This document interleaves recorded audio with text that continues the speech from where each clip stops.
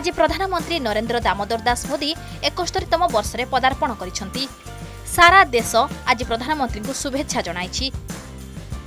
ଭୁବନେଶ୍ୱର ଝିଅ ତଥା ଚିତ୍ରକର ପ୍ରିୟଙ୍କା ସାତ ଗୋଟି ଖାଦ୍ୟଶସ୍ୟରେ ଆଠ ଫୁଟ ଉଚ୍ଚତା ଓ ଚାରି ଫୁଟ ଓସାରର ମୋଦିଙ୍କର ଏକ ଚିତ୍ର ଆଙ୍କିଛନ୍ତି। ମୁଗ ବିରିଜାଇ ଚାଉଳ ଚୁଡ଼ା ଏଭଳି ସାତଟି ଶସ୍ୟକୁ ନେଇ ସୁନ୍ଦର ଏକ ଚିତ୍ର ଆଙ୍କିଛନ୍ତି ପ୍ରିୟଙ୍କା। ଯାହାକୁ ତିଆରି କରିବା ପାଇଁ ତାଙ୍କୁ ପଚିଶରୁ ତିରିଶ ଘଣ୍ଟା ସମୟ ଲାଗିଥିଲା। ନରେନ୍ଦ୍ର ମୋଦି ପ୍ରଧାନମନ୍ତ୍ରୀ ହେବା ପରେ ଦେଶରେ ଅନେକ ବିକାଶ ହୋଇଛି ତେଣୁ ମହାପ୍ରଭୁ ତାଙ୍କୁ ଦୀର୍ଘାୟୁ କରନ୍ତୁ ବୋଲି ଶୁଭେଚ୍ଛା ଦେଇଛନ୍ତି ପ୍ରିୟଙ୍କା ଏଇ ଜିନିଷଟା କରିବି ବୋଲି ମୁଁ ଟୁ ଥାଉଜେଣ୍ଡ ନାଇଣ୍ଟିନ୍ରୁ ଭାବିଥିଲି ଯେ ମୁଁ କିଛି ଗୋଟେ ମୋଦିଜୀଙ୍କୁ କରିକି ଦେବି କାହିଁକି ନା ସେ ଟାଇମ୍ରେ ଯେତେବେଳେ ବାଲା ବାଲାକୋଟରେ ଏୟାର ଷ୍ଟ୍ରାଇକ୍ ହେଇଥିଲା ଟ୍ରିପଲ୍ ତଲାକ୍ ଯେଉଁ ସେଇଟା ମୋଦିଜୀ ମାନେ ସେଟାକୁ ସେ କେସ୍ଟାକୁ ଠିକ୍ କରିଥିଲେ। ଆର୍ଟିକଲ୍ ଥ୍ରୀ ସେଭେଣ୍ଟି ଉଠାଇଥିଲେ। ତ ଗୋଟେ ଗ୍ରେଟଫୁଲନେସ୍ ଥିଲା ସେ ଜିନିଷର। କାହିଁକି ନା ମୋଦିଜୀ ବହୁତ କିଛି କରିଛନ୍ତି ଆମ ଦେଶ ପାଇଁକା ମୁଁ ଷ୍ଟାର୍ଟିଂରୁ ହିଁ ମୋଦିଜୀଙ୍କୁ ବହୁତ ସପୋର୍ଟ କରେ। କାରଣ ପ୍ରତିଟି ଡିସିସନ୍ ମୋତେ ଭଲ ଲାଗେ।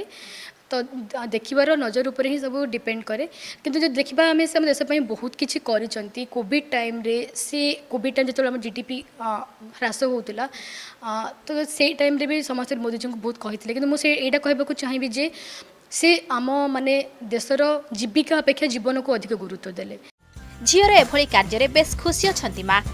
ପ୍ରିୟଙ୍କାଙ୍କ ମା କହିଛନ୍ତି ପ୍ରିୟଙ୍କା ତା ବାବା ସ୍ୱର୍ଗତ ବିବେକାନନ୍ଦ ସାହାଣୀଙ୍କଠାରୁ ଏହି ଚିତ୍ରକଳା ଶିଖିଛି। ପିଲାବେଳୁ ତାର ଏହି କଳାରେ ବେଶ୍ ରୁଚି ରହିଛି। ତେଣୁ ମା ହିସାବରେ ତାକୁ ବେଶ୍ ସହଯୋଗ କରେ ଏବଂ ତା ପାଇଁ ଆମେ ପରିଚିତ ହେଉଛୁ ବୋଲି ପୁରା ପରିବାର ଗର୍ବିତ।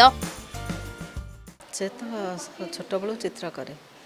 ଚିତ୍ର କରିବା ସହିତ ସେ ମୋଦିଙ୍କ ଚିତ୍ର କରିବାକୁ ମନ ବଳେଇଲା ସେଥିରେ ସେ ମୁଗ ବିରି ହରଡ଼ ବୁଟ ମସୁର ଚାଉଳ ଧାନ ଚୁଡ଼ା ସବୁ ଲଗେଇକି ଚିତ୍ର ଆଙ୍କିଛି ମୁଁ ତାକୁ ବହୁତ ସହଯୋଗ କରେ ତା ବାପା ତାଠାରୁ ଚିତ୍ର କରିବାରେ ତା ବାପା ବହୁତ ସହଯୋଗ କରନ୍ତି।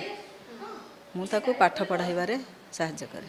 ଦେଶ ବିଦେଶରେ ତାକୁ ସମସ୍ତେ ଚିହ୍ନୁଛନ୍ତି ତା ଯୋଗୁଁ ବି ଆମେ ସମସ୍ତେ ଆମକୁ ଚିହ୍ନି ପାରୁଛନ୍ତି ଆଗାମୀ ଦିନରେ ନିଜ ଚିତ୍ର ମାଧ୍ୟମରେ ଓଡ଼ିଶାର କଳା ସାହିତ୍ୟ ପରମ୍ପରାର ଆହୁରି ପ୍ରଚାର ପ୍ରସାର କରିବେ ବୋଲି କହିଛନ୍ତି ପ୍ରିୟଙ୍କା।